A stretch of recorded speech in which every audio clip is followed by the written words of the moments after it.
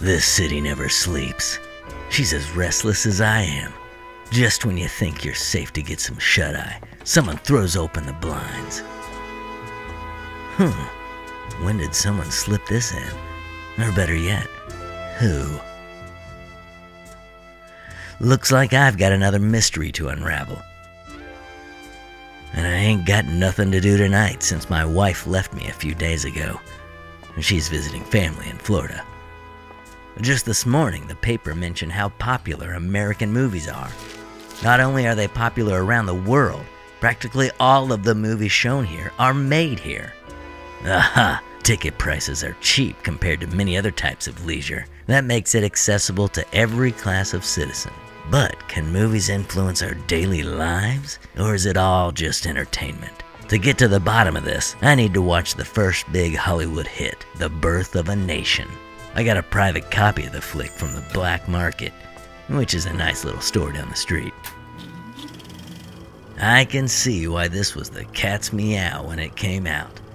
The filmmaking is highly innovative, introducing techniques we still use today, such as close ups, cross cutting, and dissolves.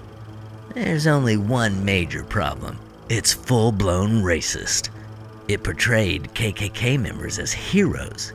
The group had practically been non existent for decades, but the popularity of this film started a revival and was used as their recruiting tool.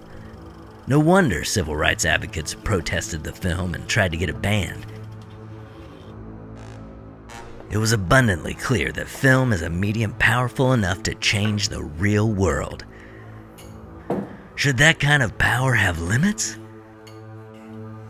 Should certain films be censored if they can be harmful?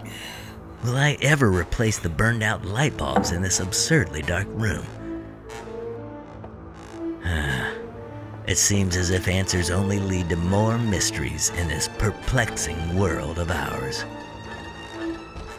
Oh man.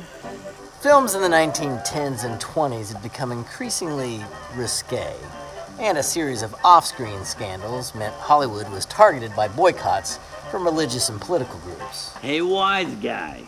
What happened to my scene? Goes against the production code, so it had to be cut. You mean the government is out there telling us what we can and can't show? Religious groups were pushing for the government to get involved, so studios agreed to self regulate so that wouldn't happen.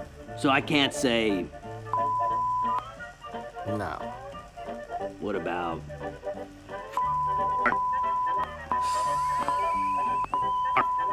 With a whole.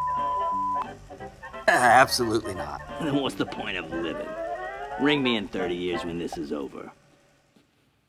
This video is inspired by our PBS series Reconnecting Roots. Connect with me, Gabe McCauley, and Reconnecting Roots by visiting reconnectingroots.com, where you'll discover music, blogs, behind the scenes, our podcast, and more. Join our email list and never miss a beat.